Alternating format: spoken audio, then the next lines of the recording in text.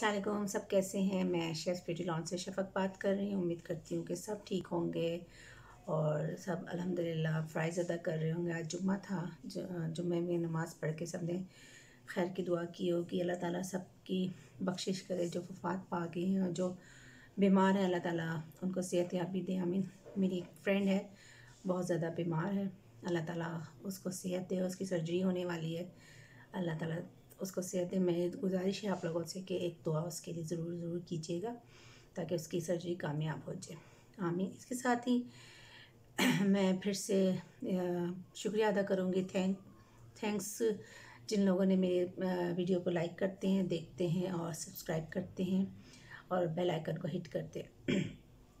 और कोई क्वेश्चन हो तो मैं फिर से कहूँगी कि मुझसे ज़रूर ज़रूर डिस्कस डिस्कस डिस्कस करें। मैं उसका जवाब देने की कोशिश करूँगी। आज मैं हेयर्स के मतलब फिर से बात करूँगी। आज मुझे मेरी फ्रेंड एक फ्रेंड ने कहा कि उसने कहीं देखा है सैद गनी का। हेयर ग्रोथ क्रीम है। सैद गनी यू नो के एक नाम है।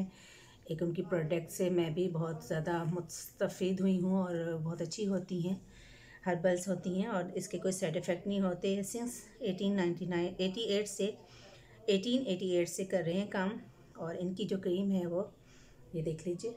ये है हेयर ग्रोथ क्रीम ये मेरी फ्रेंड है, कहती उस, उसकी बहन की फ्रेंड ने या कज़न ने किसी ने इस्तेमाल किया तो उससे उसके हेयर फॉल रुक गया और हेयर ग्रोथ हुई है, जहाँ से गंजपन हो गया था, उससे दोबारा से न्यू हेयर्स निकलना शुरू हुए हैं तो वो बहुत खुश हुई है तो उसने कहा कि मैंने भी मंगवानी है तो फिर मैंने सोचा कि मैं भी मंगवा के देख लेती हूँ।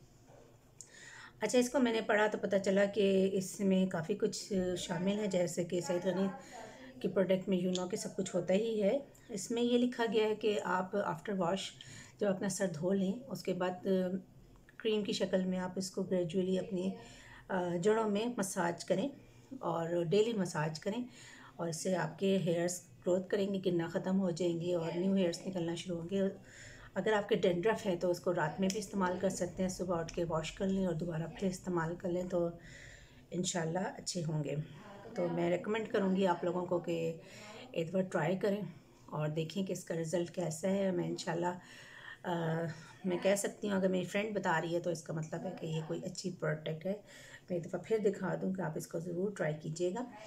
ठीक है? ट्राई मस्ट मैं हमेशा मेरे पास बच्चियाँ या लड़कियाँ या वुमेंस आती हैं वो यही कहती हैं कि हम रेमेडी इस्तेमाल करते हैं लेकिन हम छोड़ देते हैं। तो मैं उनसे कहूँगी कि छोड़ना नहीं चाहिए रेमेडीज़ को। एटलीस्ट थ्री मंथ्स तो आप रेमेडीज़ इस्तेमाल करें उसके बाद ही आपके बालों पे या स्किन पे। अब मैं आती हूँ स्किन के पास। स्किन यू नो कि आजकल वेदर फिर से चेंज हो गया है थोड़ा सा आ, कम कोल्ड है और अभी भी ड्राइनेस बहुत ज़्यादा है हवा में और पानी हम लोग पीना शुरू हो गए हैं थोड़ा सा प्यास लगना शुरू हो गई। मैं कहूँगी, नीम गर्म पानी आप लोग पिए तो ज़्यादा अच्छा आज मैं आपके सामने कॉफ़ी मास्क लेके आऊँगी विद बेसन। कॉफ़ी यू नो कि हमारे स्किन के लिए भी बहुत अच्छी है, पीने में भी अच्छी होती है। अगर आप ब्लैक कॉफ़ी पियेंगे तो खाली पेट तो आपका वेट भी लूज़ होगा।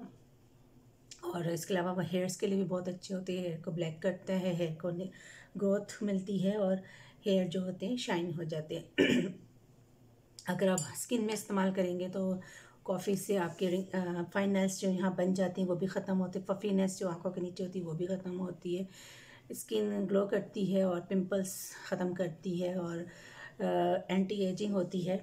बहुत अच्छा होता है स्क्रबिंग होती है। तो मैं आपको बता दूँ कि कोई सा भी कॉफ़ी ले लें आप। कोई सी भी वन टीस्पून आप कॉफ़ी ले लें। अच्छा कॉफ़ी आप ले लीजिए वन टीस्पून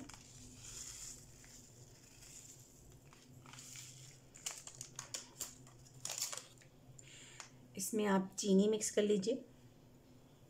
चीनी मिक्स करने से आपको जो होगा कि स्क्रबिंग हो जाएगी फेस डेड सेल रिमूव हो जाएँगे आपके और स्किन जो है ना शाइन करेगी। हाफ़ टी स्पून चीनी शामिल कर दें और वन टेबल स्पून या टी स्पून आप जो है ना बेसन इस्तेमाल करें। बेसन यू नो कि आपकी स्किन के लिए बहुत अच्छा होता है। इसमें आप लेमन इस्तेमाल करें, इससे आपके पिगमेंटेशन ख़त्म होगी और स्किन फ्रेश नज़र आएगी आपकी।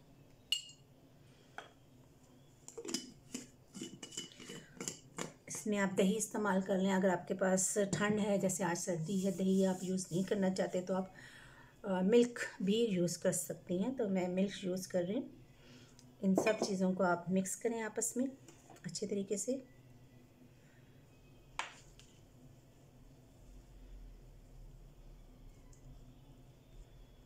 ये जो मास्क मैं बता रही हूँ, आपको क्लिनजिंग करने के बाद आपने फेस के ऊपर अप्लाई करना है। फिफ्टीन मिनट्स ट्वेंटी मिनट्स लगाने के बाद आपने फेस वॉश कर लेना है।